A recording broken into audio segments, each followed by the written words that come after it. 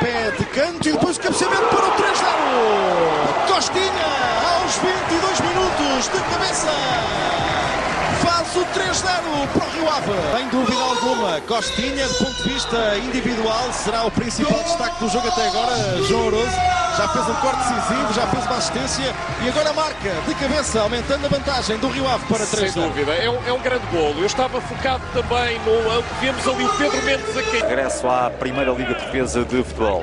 Canto para o Rio Ave, crescimento, golo! Marca o Rio Ave e marca Costinha. Um grande cabeceamento do lateral direito do Rio Ave que consegue aqui a cambalhota no resultado. Segunda, aliás, é o segundo golo na segunda liga, assim é que está correto, e a equipa de Luís Freire fica na frente do marcador, de facto, uma paragem muito penalizadora para o Estrela e, obviamente, muito benéfica para o conjunto de Vila do Conde. Isto poderá ser perigoso para o Rio Ave. Nuno Mora a subir aqui no terreno, bom passe, toca de Joca, pode ser o gol de Costinha, o remate do golo! Marca o Rio Ave aos 29 minutos e o golo é do lateral direito Costinha. Carlos Fernandes revelou frieza na finalização.